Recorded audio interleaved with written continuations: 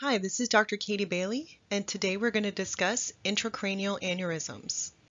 Our objectives to discuss intracranial aneurysms, the definition, most common locations, and post-treatment, as well as some practice cases. A cerebral aneurysm is defined as an outpouching due to wall weakness. The descriptors that we use in radiology are saccular, meaning it's round, around outpouching, mycotic, meaning associated with an infection, traumatic, which is post-trauma, oncotic, related to a cancer, fusiform, meaning a longer segment, dissecting, associated with a dissection, and a pseudoaneurysm, which is less than three, three layers of the wall being involved in the aneurysm, usually the intima and the media. A giant aneurysm is defined as an aneurysm that measures greater than one centimeter. So this is an example of a giant aneurysm. On T2 weighted imaging, it usually has heterogeneous signal, areas that are low signal and high signal, depending if there's clot or flow. On this hemosiderin sensitive sequence, you see the rim is dark and then there's that heterogeneous signal centrally with areas that are low signal and high signal. And on MRA image, you can see the aneurysm as well. Where to find aneurysms? Most saccular aneurysms arise from the arteries of the circle of Willis. The most common location, labeled 1, is the anterior communicating artery. The second most common is the posterior communicating artery. The third is the middle cerebral artery bifurcation or trifurcation. And the fourth is the posterior circulation, with the most common of those being at the basilar tip. Mycotic or infectious aneurysms are most common in the more distal MCA branches, so you'd be looking further out here, M2, M3, M4 segments. Saccular versus fusiform. So here's a saccular aneurysm of the anterior communicating artery, which you can see is this pooch demonstrating low signal on this T2 weighted image.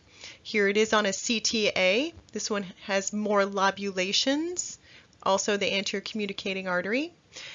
As opposed to a fusiform aneurysm, which involves a longer segment, this one is actually associated with a dissection. So this is a dissecting fusiform aneurysm. You see it has that yin-yang appearance, areas that are hypodense and more hyperdense filling with contrast.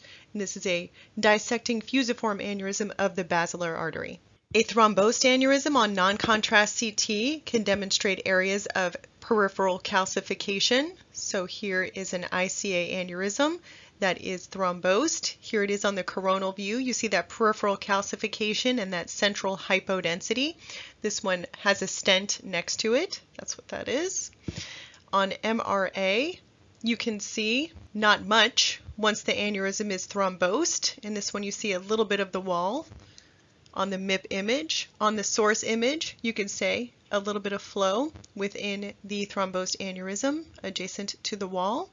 And on the axial T2 weighted image, it's again that heterogeneous signal. This one has mostly areas of low T2 signal, and then that area that's showing up on the MIP images as well as the source image is also showing bright on the T2 weighted image. An aneurysm with flow looks a little different. On a non-contrast CT, it can be very subtle. It's a little hyperdense compared to the adjacent soft tissue of the brain. So here is the aneurysm. On the coronal view, you can see loss of the CSF around that temporal lobe, which should indicate there's some sort of mass occupying lesion in that location.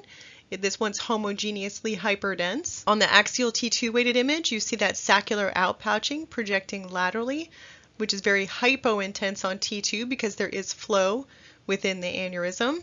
On the MRA source, it is bright because there is flow in it.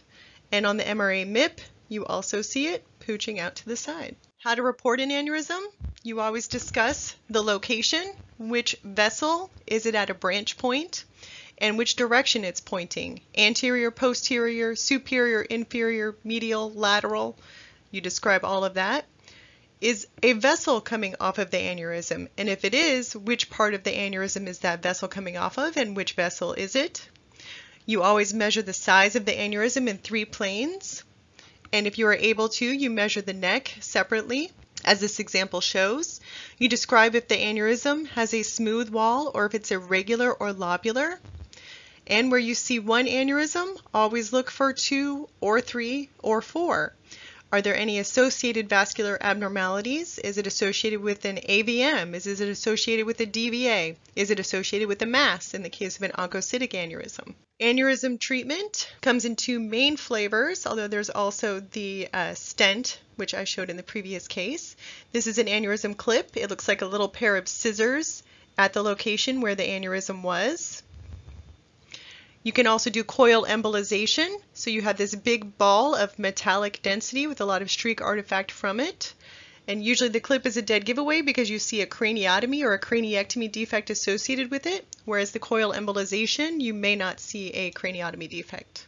All right, so practice case number one, all three planes of imaging. So when I'm looking for aneurysms, I follow each vessel and all vessels should be flowing. They should be moving away from the location of where they started. So when you're looking for an aneurysm, you're looking for a vessel that just abruptly stops.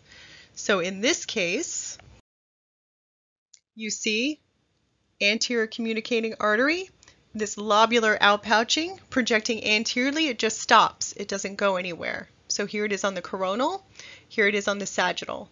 So these A2 branches are continuing on, but this lobular or saccular outpouching just stops where it is. That is an anterior communicating artery aneurysm. Practice case two. You follow the vessels of the circle of Willis.